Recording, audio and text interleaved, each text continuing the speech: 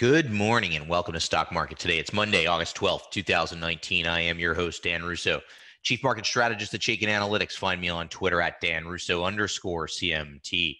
Stock Market Today brought to you today and every day by Chaikin Analytics. Head over to chaikinanalytics.com forward slash today, where you can sign up for a free email to follow along with this show, get daily stock ideas for you to consider in your inbox every trading day before the market opens. So U.S. equities finished mostly lower in Friday's trading, leaving the S&P 500 modestly lower on the week. And take modest with a grain of salt there. At the sector level, the traditionally defensive healthcare sector and the bond proxies, REITs, and utilities outperformed on the day.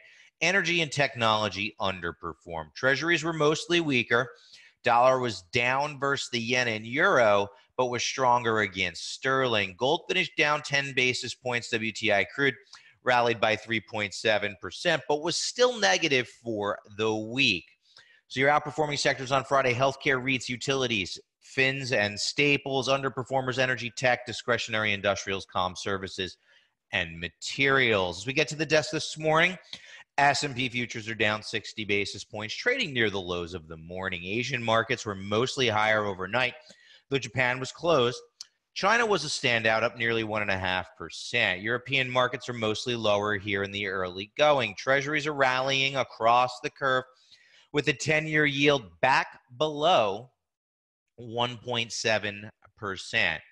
Dollar's weaker versus the yen, but stronger on the euro. Gold is up 50 bips, and WTI crude is giving back 1.2%. So, we added the 50-day moving average to the chart today because we are now testing the 50-day from below for the S&P 500. Support is in the 2850 to 2900 zone in the near term. 2900 is kind of tepid support in my opinion if you ask me. The stronger support zone is 2800 to 2850 which is just above the rising 200-day moving average. Resistance is in the area between 2950 and 3000 for now that makes sense. What's interesting is if you wanted to, you could draw a trend line here and see that 2950 level is, you know, it's resistance. It's there. 50 day moving average kind of doing its job for the past couple of days, acting as resistance as well. So we're going to continue to watch those levels, and we're also going to be closely watching the character of RSI for clues about the likely path for the market. We've talked about this a number of times, but let's just reiterate RSI has its own personality it will shift, right? A lot of people think 30 and 70 are the levels that they're written in stone and that 30 is oversold and 70 is overbought. And it just doesn't make any sense because in a strongly trending market, the RSI will very rarely get to an oversold condition if, it, if we're strongly trending to the upside. And if we're strongly trending to the downside, uh, RSI will very rarely get to an overbought condition. So if you're waiting for those traditional metrics, you'll never get on the bus. It's important to understand the personality of the indicators you use. RSI tends to, in an uptrend, RSI tends to become oversold closer to 40 and routinely becomes overbought. So, what are we looking for here?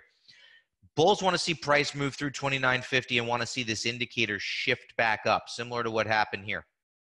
See how it shifted back up and stayed above 50? Notice during the uptrend in early 2019, routinely stayed above 50. That's what you're looking for. In the meantime, Chaikin Money Flow is bullish, though has marked a lower high. So continue to watch the indicators for clues. They're sending a mixed picture. I mean, I'm open to the idea of just some choppy trade in the near term between 2850 and 2950. That's obviously a possibility as well. Taking a look at your market in a minute now. What are we talking about in the note today for Chaikin Analytics clients? We're testing resistance after a volatile week. We talked about that. 10 year year remains under pressure, and we're asking the question is there room for more downside? I think there is. We'll talk about why in a little while.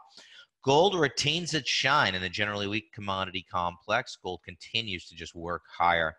Growth concerns continue to weigh on crude oil, and futures are lower to start the week. Taking a look at the power bars now from Friday. All major markets were lower on the day on Friday, with small caps and Nasdaq underperforming. Dow four bulls, seven bears. S&P 500 90 bulls to 107 bears. Nasdaq, as we said, underperformer. 23 bullish or very bullish stocks, 26 bearish or very bearish stocks, and small caps, despite the bullish ratio, cannot get out of their own way from a relative perspective. Really can't get out of their own way from an absolute perspective either. Small caps continue to underperform the market. And what we've been saying is we want to focus on premium setups within the market for long ideas. And given uh, given the choice between two names, one large, one small, I say favor the large cap name. Small caps down 1.26% on Friday, 414 bulls, 364 bears. Bonds down ticked on the day, but they are reversing and rallying here in the early going. According to the Chaikin Power Bar, small cap stocks remain somewhat more bullish than large cap stocks. Major indexes are all are pretty bearish. Our stock of the day today, Horizon Therapeutics, HZNP, very bullish rating, closed at 27.14, down 1.63% on Friday.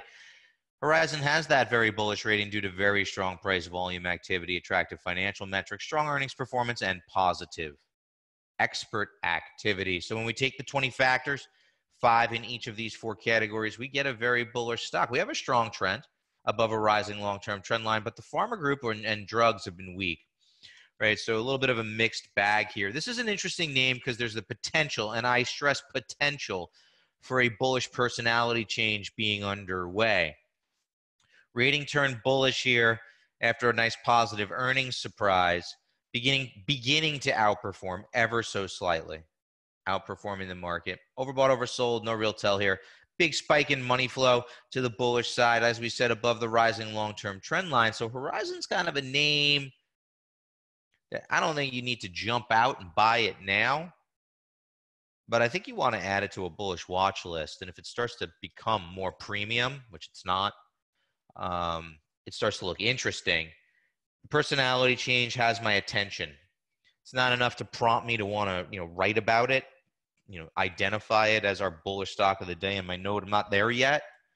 Uh, but I am going to throw it on a bullish watch list and take a look and keep an eye on it. And if it continues to outperform and if stays with a bullish rating and if money flow is still strong and the process that we work through lines up, then I think it'll make sense. Horizon going on a bullish watch list here today. Sector tracker, movement of the major sectors over the last five days. No surprise, REITs and utilities at the top of the list. They've been there for the past few episodes of this show. A couple of dynamics at play there. Number one, flight to safety, right? Traditionally defensive area. And then on top of that, just the the utter collapse in yields in the U.S. and globally, really, uh, leading the bond proxies in the equity market to outperformance. Materials is a group that we've been warming to, uh, catching a bit of a tailwind from the rally in precious metals. We've talked about gold. Take a look at silver as well. Healthcare traditionally defensive, staples traditionally defensive. Kind of surprised to see discretionary in there, but those are the breaks. Industry, industrials, tech, and comms, middle of the road. Financials and energy continue to be underperformers. Energy is just an utter disaster from a trend perspective uh, across the board, whether it's the sector or whether it's the main industry groups. Continues to be an area of the market that we want to stay away from. We're going to chat about that in just a moment. And financials obviously coming under pressure with the decline in yields, uh, predominantly weighing on the bank stocks. So, our industry in focus today comes to us from the energy sector, oil and gas exploration and production, which over the past six months, here getting back to that disaster term again, over the past six months, this group has underperformed the S&P 500 by 33.35%. And its power bar ratio, which measures future potential, is very weak. 32 bearish or very bearish stocks, only five bullish or very bullish stocks. It's currently ranked number 21 of 20, number 20 rather, of 21 subsectors that we look at. So the odds favor this underperformance continuing. Some of the names within that group that you want to avoid or potentially look for bearish opportunities when the setup is there Occidental, OXY, Noble, NBL, and Concho, CXO all have very bearish Chaikin Power Gauge ratings. And then just to give you a little sense of the group, here's XOP. The E&P ETF has a very bearish Chaikin Power Gauge ETF rating. See that up here. It's in a weak trend, right? You don't need to be a CMT to see that this is a downtrend, moving from the upper left to the lower right below the declining long-term trend line. Look at the persistency of bearish money flow here.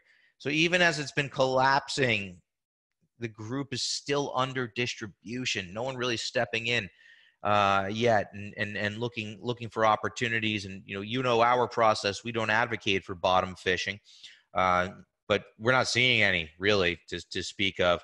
continues to be a massive underperformer relative to the SPY, and we've been on this bearish rating since November of last year. So, just a group that we just want to continue to avoid uh, on the long side. Don't be tempted to go bottom fishing in the energy complex.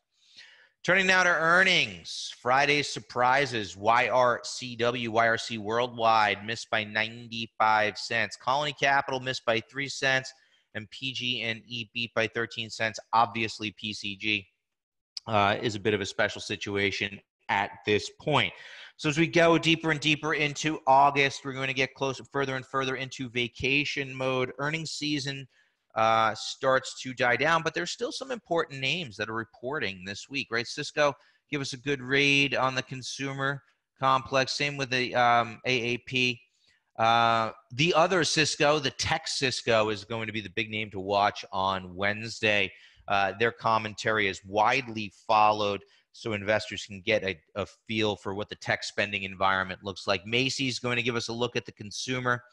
Uh, AMAT and NVIDIA on Thursday are two names uh, that we want to be paying close attention to within the semiconductor space. So far in this volatility over the past week, week and a half, semis have held up fairly well on a relative basis. Should that continue, that would be a bullish sign for the market. So let's keep an eye. A couple of bellwether names within that group set to report this week: AMAT and Nvidia. We'll take a look at Walmart and for your you know, and then Deere on Friday uh, be another important name to pay attention to. So, turning now to the charts, we start with the small caps where underperformance continues. The IWM, the iShares Russell 2000 ETF, saw its Chaikin Power Gauge rating move from bullish to neutral to start the new week. We can see that here. The trend here is weak below a now declining long term trend line. Money flow is a mixed bag, but what's interesting to me is that in the beginning of the it's been steadily declining, right? This is essentially a downtrend in money flow, successive lower highs um, taking place. Group continues to be an underperformer relative to the SPY. Now, it is closer to an oversold reading than to an overbought reading. So, for those of you who trade ETFs, I don't know that it's necessarily a great setup for a bearish trade, but this is more from a portfolio strategy and positioning point of view. We continue to want to favor large caps over small caps for equity exposure. I think if you're looking for ideas and you have two similar ideas, I think it makes sense to favor the large cap names over the small cap names. That's just kind of how we're laying it out. This underperformance continues. We've been vocal in our view uh, that small caps are likely going to continue to underperform, and that does remain the case. I mean, look at what's. I mean, we're not even close to all-time highs. Never even threatened the highs from last fall. Small caps continue to underperform. We're asking the question here: Is there room for more downside in yields? 10-year yield below the 50, below the 200-day. Normal kind of technical picture that we talk about. We are back below 1.7 here this morning, but it was only about three years ago that the yield was below 1.4. Uh, back in the summer of 2016. And what's interesting to me now is globally, you have about $15 trillion in debt trading at negative yields. Now, I'm not saying the US is going to go there, and I'm not saying we're going to go there quickly, but the fact of the matter is, more and more global debt is trading with negative yields. To me, I think that opens the door for downside in the US. I'm not saying we're going to go negative, but the potential is there. And just from a trend perspective, it's it's it's a bearish trend confirmed by momentum, right? The traditional metrics that we look at. And it wasn't that long ago, as I said, it was only three years ago that we were down below 1.4%. So is there room for more downside in yields? I think so. Rallying gold hits overbought levels, very overbought levels, similar to what happened back in the June, July timeframe. Big spike higher produced a big overbought reading on the RSI, which led to a consolidation before the next leg higher. I think that's what you want to look for here. Gold maybe goes into a consolidation around the 1500 mark to work off this overbought level. Remember what I said about the RSI, how it shifts? Look at the uptrend. This has never become, this has not become oversold since this uptrend began back in May. If you were waiting for a 30 on the RSI to get involved in gold, you have missed the boat.